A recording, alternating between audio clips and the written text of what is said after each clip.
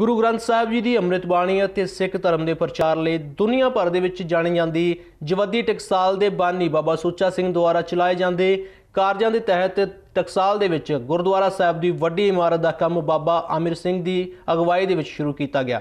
ਅੱਜ ਇੱਕ ਮਹੀਨੇ ਤੋਂ ਬਾਅਦ ਸ੍ਰੀ ਗੁਰੂ ਗ੍ਰੰਥ ਸਾਹਿਬ ਜੀ ਦੀ ਸ਼ੁੱਧ ਉਚਾਰਨ ਦੀ ਕਲਾਸ ਲਗਾਈ ਗਈ ਤੇ ਭੋਗ ਸਮਾਗਮ ਰੱਖਿਆ ਗਿਆ। ਇਸ ਮੌਕੇ ਰਾਗੀ ਜਥਿਆਂ ਨੇ ਸੰਗਤਾਂ ਨੂੰ ਕੀਰਤਨ ਦੇ ਨਾਲ ਨਿਹਾਲ ਕੀਤਾ।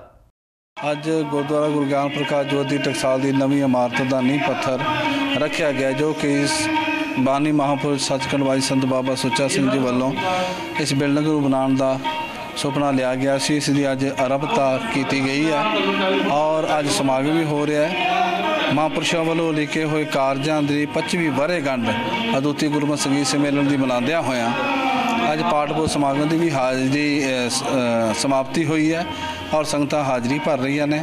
ਸਭ ਦਾ ਧੰਨਵਾਦ ਜੋ ਵੀ ਮਾਈ ਭਾਈ ਇੱਥੇ ਚੱਲ ਕੇ ਆਇਆ ਗੁਰੂ ਕਿਰਪਾ ਕਰੇ ਸਾਨੂੰ ਸਭ ਨੂੰ ਨਾਮ ਬਾਣੀ ਦਾ ਅਭਿਆਸ ਔਰ ਚੜ੍ਹਦੀ ਕਲਾ ਬਖਸ਼ਿਸ਼ ਕਰਨ। ਇਹ ਗੁਰਦੁਆਰਾ ਸਾਹਿਬ ਤਕਰੀਬਨ 90 ਫੁੱਟ ਚੌੜਾ ਔਰ 130 ਫੁੱਟ ਇਸ ਹਾਲ ਦੀ ਲੰਬਾਈ ਹੋਵੇਗੀ। 130 ਬਾਈ 90 ਹੋ ਗਿਆ ਗੁਰਦੁਆਰਾ ਸਾਹਿਬ ਗੁਰੂ ਸਾਹਿਬ ਦਾ ਪ੍ਰਕਾਸ਼ ਹੋਵੇਗਾ ਨਿਜ ਥਾਂ ਹੋਵੇਗਾ ਔਰ ਪਾਠ ਕਰਨ ਵਾਲੇ ਹਾਲ ਹੋਣਗੇ।